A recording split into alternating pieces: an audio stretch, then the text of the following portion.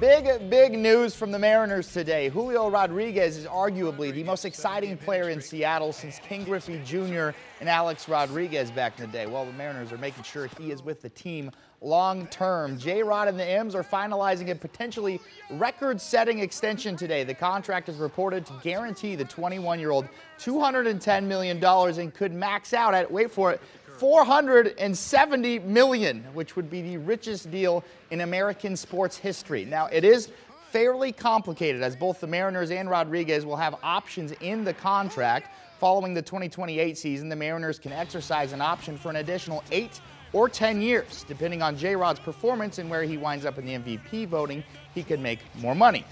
So, to simplify things for you here, it guarantees that he will be in Seattle until after the 2029 season and could be with the team until through 2039. So, go ahead, buy your J Rod jerseys. It looks like he'll be a Mariner for a long time.